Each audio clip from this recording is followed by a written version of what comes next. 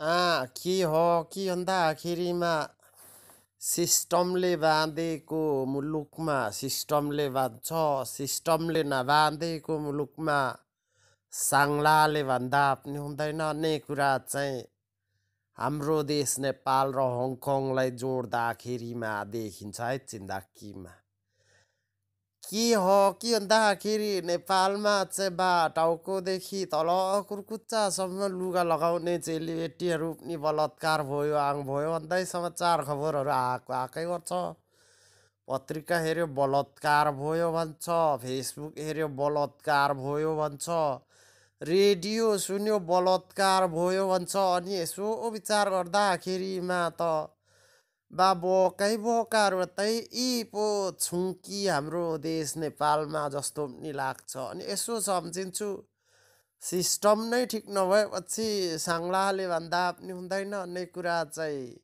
सही जस्तो लाग्छ हो। हङकङको ठाउँमा बा हाप्चाङ्गे भन्दा छोटो छोटो बस्ने गाला देखिने लुगा लाउने केटी मात्रै देखिन्छ यता पनि उता पनि। तर छ सात वर्ष दस वर्षमा पनि बलात्कार भयो भन्ने खबर सुनिँदैन। तर हाम्रो देशमा चाहिँ त्यति लामो लामो लुगा लाउँदा बलात्कार भयो भन्छ अनि यसो सम्झिन्छु सिस्टमले बाँधेको ठाउँमा सिस्टमले भन्छ। सिस्टमले नबाँधेको ठाउँमा साङ्लाले भन्दा पनि हुँदैन जस्तो लाग्छ कि।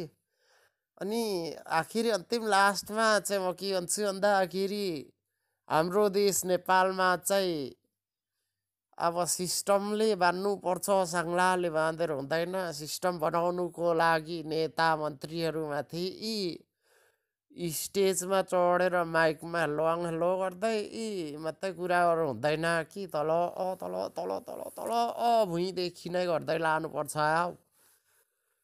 जहिले बलात्कार भयो बा जहिले बलात्कार भयो भन्छ सम्झेर ल्याउँदाखेरि पनि अचेल त त लाज भन्दा नि घिन पो लाग्नु थालेको छ हौ जिन्दगीमा।